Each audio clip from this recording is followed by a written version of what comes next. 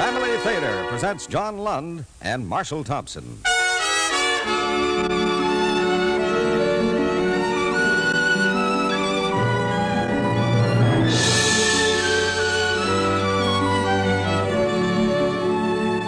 From Hollywood, the Mutual Network, in cooperation with Family Theater, presents Turn on the Lights, starring John Lund. And now, here is your host, Marshall Thompson.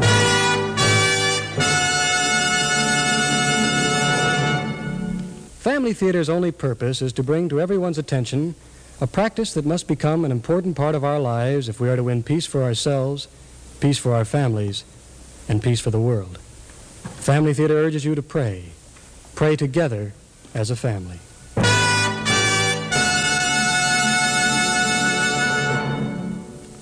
And now to our transcribed drama, Turn on the Lights, starring John Lund as Commander Soames.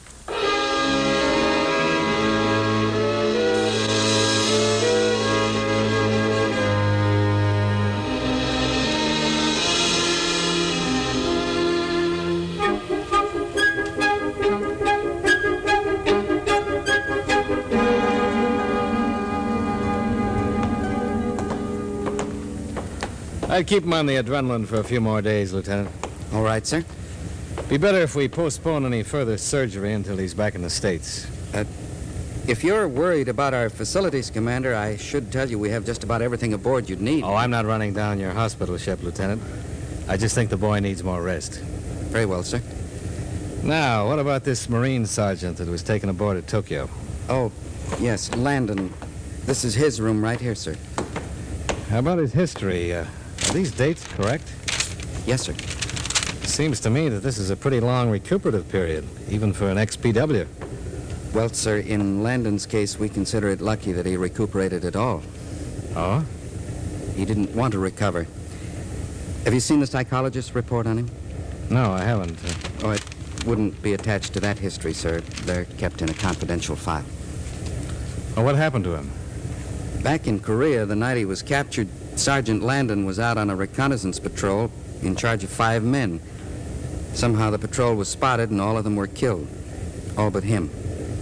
He was wounded and on the way back to his lines, the Reds nabbed him. Hmm. Well, I guess it's only natural for a non-com to feel a sense of guilt when some of his men are lost. Yes, sir, but Landon's guilt seems to go deeper.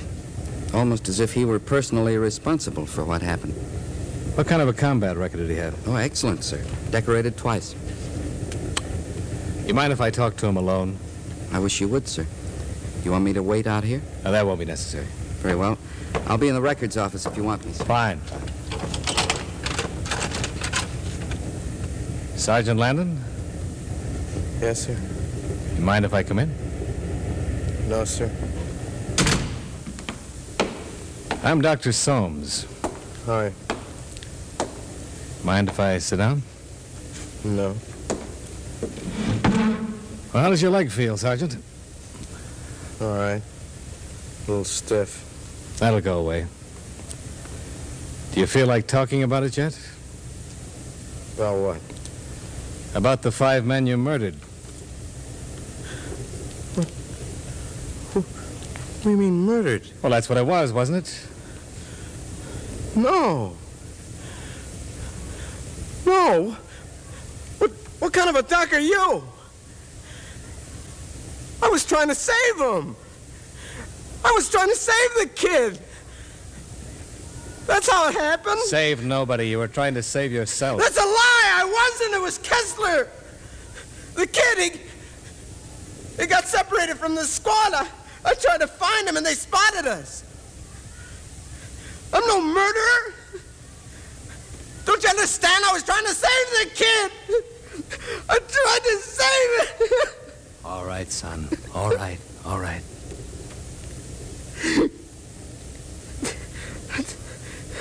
That's how they spotted us. I know. I know.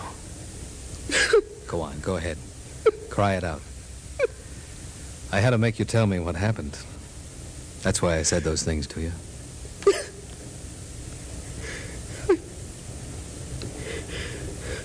Glad somebody knows anyhow. You should have done this a long time ago. I couldn't.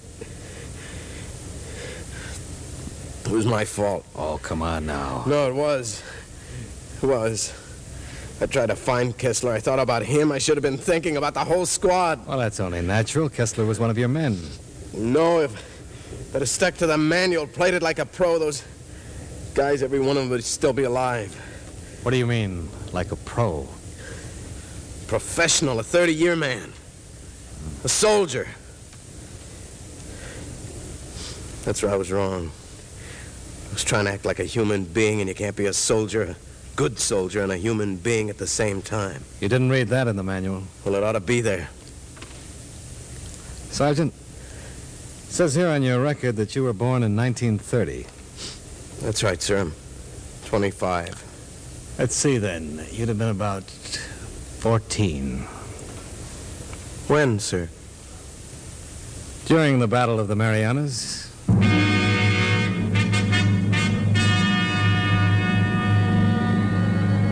That was in June 1944. It began with the invasion of Saipan by the 2nd and 4th Marine Divisions.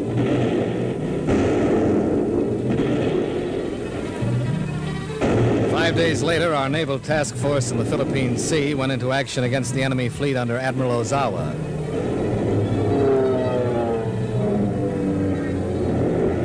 They said it was the biggest naval aircraft battle of the war. They nicknamed it the Marianas Turkey Shoot. The enemy lost almost 500 planes in that fight. And aboard the carrier on which I was serving, we had our losses too. Mr. Soames, Yes, Willett? you wanted on the intercom, sir. It's the bridge. For me? I asked for a doctor, sir. Someone's been hit up there. Well, tell them to bring him down here to sickbay. I suggested that, sir, but the officer on the line ordered me to get you. Says it's an emergency. Well, don't they think we've got any emergencies down here? I, no, I tried to tell them, sir, but they... All right, all right, I'll talk to him. Right over there, sir. Finish dressing that man's wound, will you? Yes, sir, I'll get him. What are you going to get if you need Sick bay, Lieutenant Soames. Yes, sir. Sir, do you know we have 14 men waiting for surgery down here? Well, no, sir, I'm not operating at the moment, but. Well, no, they're not priority cases, but. But. Well, why can't you bring the man down here? Oh, all right. All right, sir. I'll be right up. It's all about, Mr. Soames. Oh, some officer up in Flag Plot caught an ack-ack splinter in his arm. He won't leave the bridge. Stay, you're getting up in the world, eh? Huh? Well, there's only one person on this carrier they can't order off the bridge. The Admiral? What do you bet?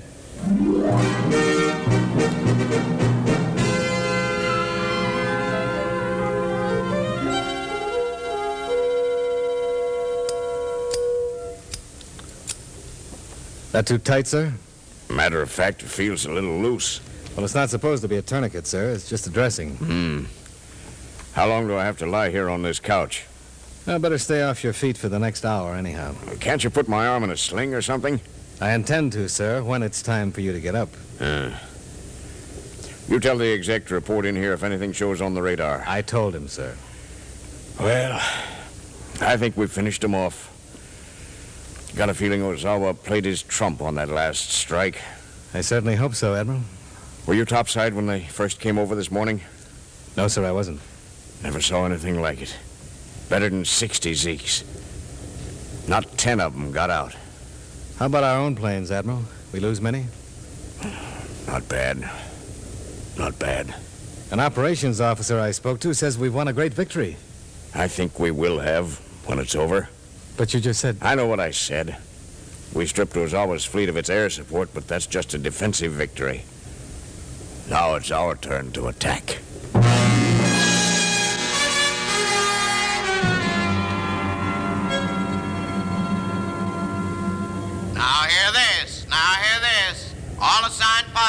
Report to ready room at 1100 for briefing on today's mission.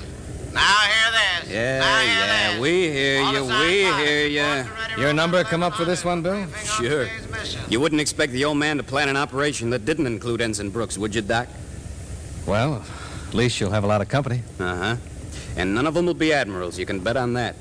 Well, most admirals I've seen are a little old to be flying Hellcats. They never seem to get too old to shout hallelujah from the rear. No, even so. I wouldn't want the old man's job. Too many big decisions. Hmm. Some decisions. Do I send up 50 ships or a 100? Do they go in waves of 20 or 40? Hmm. I'll trade jobs with him. Oh, I don't know. He's got a list and flag plot of every ship he sends out. So what? So I wouldn't like to be in his shoes when they tote up the ones that don't come back. Sure. He reads the list and he hates himself for half an hour. But the next morning he's back at the same old stand, raring to go. Well, that's his job. And a pretty cushy one, too. Bill, let's face it. Somebody's got to give the orders. Sure. And somebody else has to carry him out. Well, I can't argue with you there. Nah.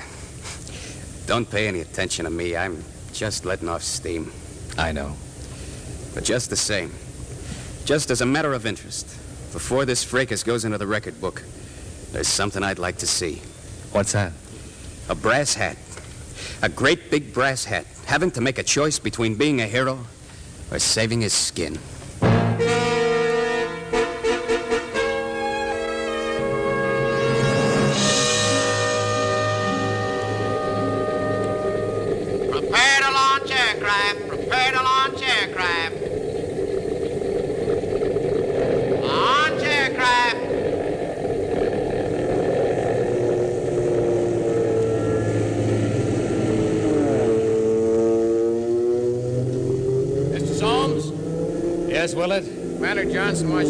Sick bay as soon as the decks are clear, sir. All right. They're sure something, aren't they? Huh? Those Hellcats? Oh. Oh, yeah. I'll say they are. Ever been up, sir? Commercial airliner. Two years ago, I thought I'd be up there flying one of those babies. I didn't know you'd been an air cadet, Willett. I wasn't for very long, sir. Washed out in pre-flight school. Gee, sure are something, huh? Yeah, yeah. What was wrong? Physical? No, I couldn't lick the math. Navigation. Oh, too bad. I don't know, maybe I ought to be grateful. Those boys taking off are going to need all the navigation they got this afternoon. Why this afternoon? Well, look at the time. It's almost 1600. They got less than four hours of daylight to go out, make the strike, and get back here. It's cutting it pretty thin, if you ask me. Why would the Admiral wait so long to send them out? They were through with the briefing before lunch. Well, don't see, that part's kind of smart. I uh, got a buddy down in Ops told me Ozawa's fleet is somewhere northeast of us. That means if they hit him late in the afternoon, they'll come in with the sun right behind them. and that's good, isn't it? Sure. Yeah, it's pretty hard to hit a man flying at you out of the sun. What these guys got to worry about mostly is getting back here before dark. And what if they don't get back here before then? Well, you can't land on a carrier if you can't see it. You're out of luck.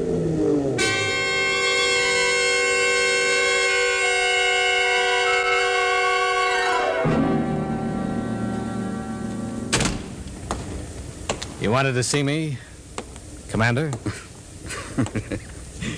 What's this commander stuff, Joe? I thought we were just a couple of civilian medics. Yeah. I don't know, Jerry. I guess I'm getting a little rank conscious. Anything wrong? Yeah.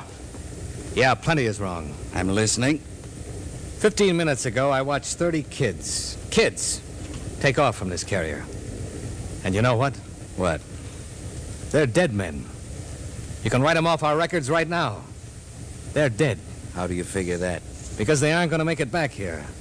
Not before the sun goes down. They've got a chance to.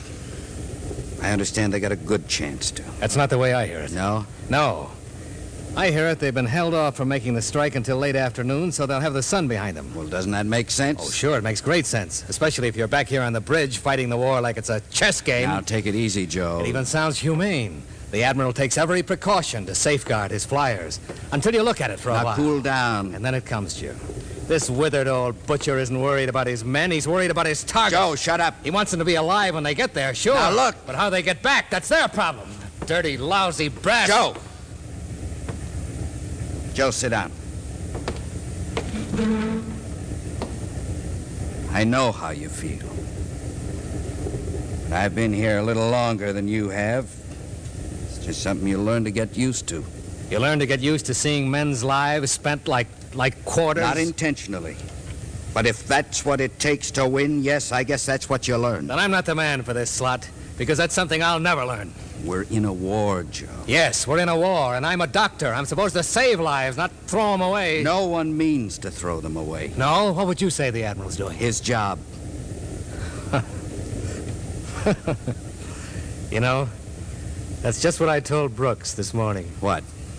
That someone had to give the orders. I said it with a straight face, too. I said that was the Admiral's job, and I didn't envy him. You were right. No, I wasn't. Brooks was right. He said he'd trade jobs with the Admiral anytime, and he was right. Well, right or wrong, the Admiral's still your patient. What's that got to do with it? His dressing has to be changed. That's why I asked Willett to have you report here. You can send someone else for that job. I'm sending you for that job because that's who the Admiral wants. I won't do it. Now listen, Joe. You and I can think what we want about the way this war is being run, but well, you said it a moment ago, we're doctors. So don't start acting like a prima donna on me. Why don't you go up and change his dressing? Because he asked for you. Oh, I'm flattered. I suppose I'm expected to break my neck getting up there, too, huh? As a matter of fact, I was told to have you finish your tour of duty in sick bay and eat dinner first. Well, I wasn't that thoughtful. I think so. You want to know what I think, Jerry? All right. I think his nibs wants a neutral party up there to hold his hand when those planes come back after dark and start falling in the water.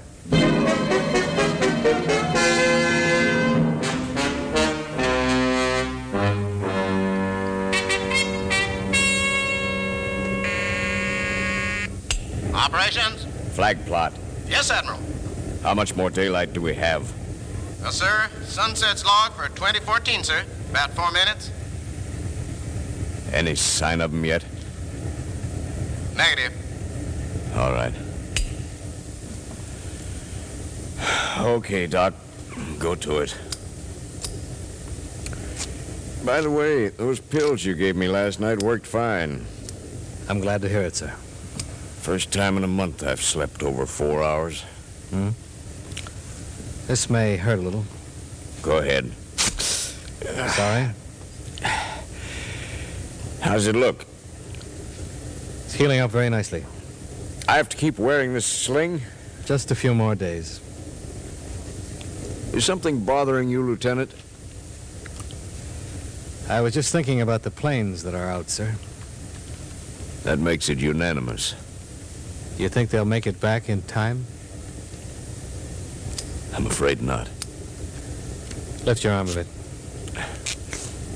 You know, Admiral, I heard a story about a carrier pilot early in the war who didn't get back to his ship until after dark.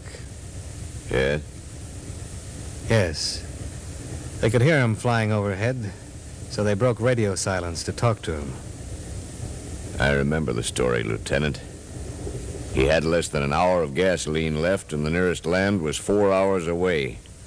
So they gave him his bearings and wished him good luck. That the story you mean? That's the one, sir. I guess you think that was pretty heartless. What do you think, sir? I think the captain of that ship had a tough decision to make. Yes, sir. Flag plot. Operations. We've picked them up on the radar, Admiral. How far off? About uh, five minutes, sir. Any daylight left? Negative. All finished up, Lieutenant? All finished, sir. You've never seen the task force from up here on my bridge, have you? No, sir, I haven't. Would you like to? Very much, sir. Snap off that light. We'll go out and have a look. Did you find the hatch? Yes, sir. Well, come on.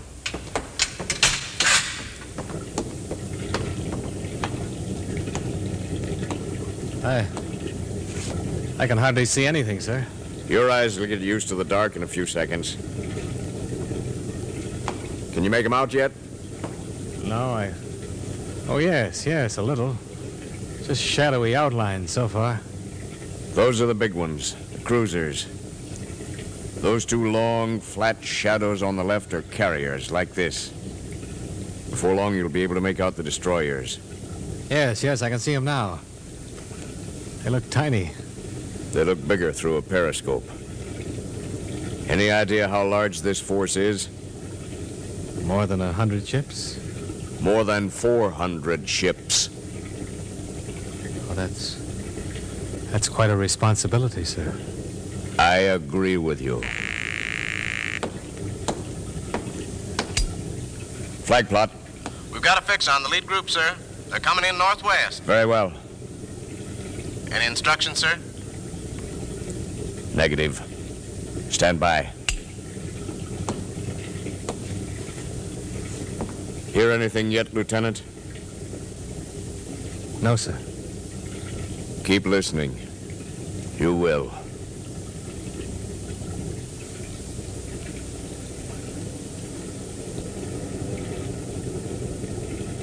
Yes, yes, sir. Now. They're back. Operations. Break silence with the commander of that lead group. Aye, sir. Wait. We've got him, sir. What carrier is he with? Wait. 1305, sir. That's us. Tell me exactly what you've got on the sonar. Wait. Nothing for the last 15 minutes. And before that, Intermittent blip. Unidentified. what range? Wait. Two miles, sir. You're sure that's absolutely all? Affirmative. Stand by. Lieutenant, Yes, sir. I think you got this bandage a little tight. Sir, that blip on the radar scope. Could that have been a submarine? Very possibly. What are you going to do, sir? The way I see it, I haven't got much choice. Operations. Flag plot. Get a fuel estimate from that group leader. Wait. He says they can stay up about 10 more minutes, sir. How far is the nearest land base? Wait. Almost 20, sir. All right. Pass the word. Turn on the lights.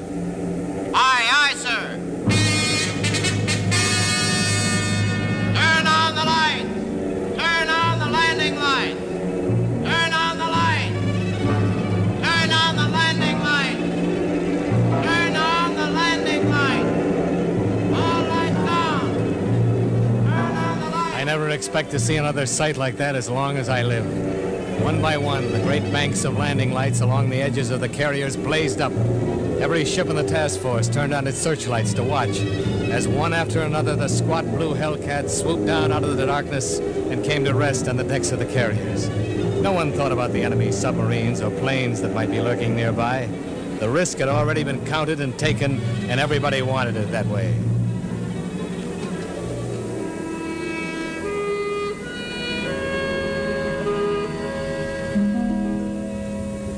But I think the most important thing to remember about the man who turned on the lights is that he was a professional. One of the most successful professional military men we've ever had, Sergeant. You, you mean that really happened? It's naval history. And an admiral took that kind of a risk with a whole task force just to save the lives of a few flyers? Oh, there were more than a few. There were a couple hundred. Well, no wonder. No, no. Great wonder. Remember, those few hundred flyers were a smaller part of the Admiral's fleet than Kessler was of your squad. Well, maybe, but the admiral got away with it. He saved his men.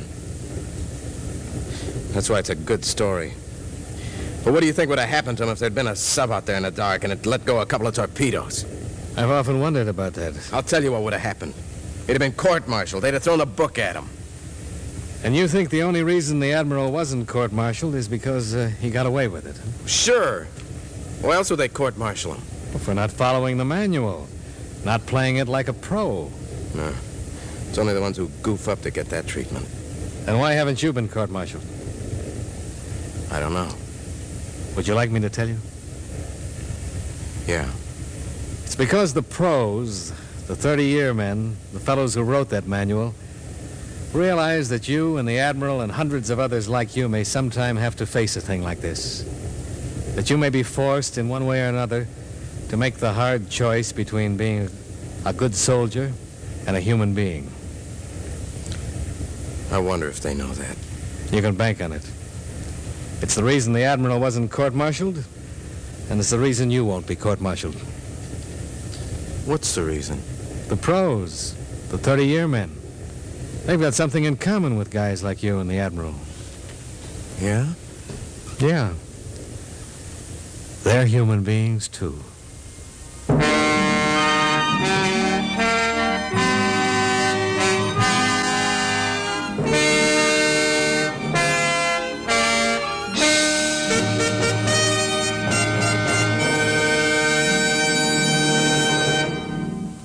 This is Marshall Thompson again.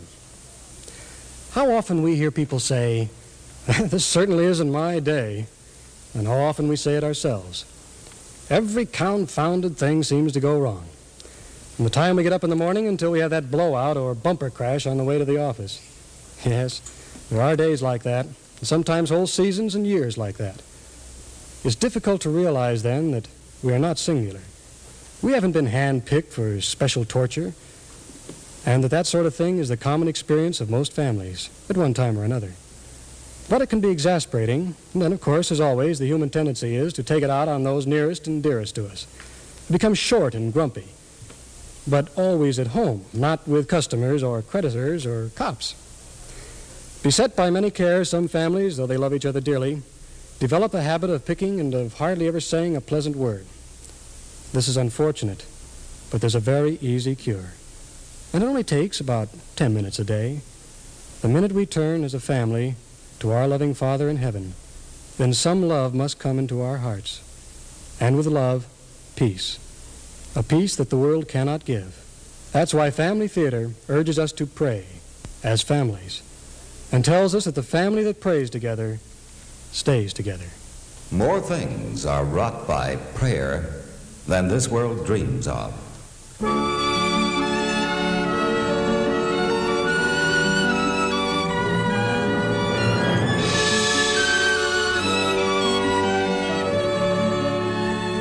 From Hollywood, Family Theater has brought you transcribed Turn on the Light, starring John Lund. Marshall Thompson was your host. Others in our cast were Vic Perrin, Paul Frees, Lamont Johnson, Fred Shields, and Fred Villani. The script was written and directed by John T. Kelly, with music composed and conducted by Harry Zimmerman. This series of Family Theater broadcasts is made possible by the thousands of you who feel the need for this type of program, by the Mutual Network, which has responded to this need, and by the hundreds of stars of stage, screen, and radio who give so unselfishly of their time and talent to appear on our Family Theater stage. To them and to you, our humble thanks. This is George Crowell expressing the wish of Family Theater that the blessing of God may be upon you and your home, and inviting you to be with us next week when Family Theater will present Night Caller, starring Joan Leslie. Jerry Colonna will be your host. Join us, won't you?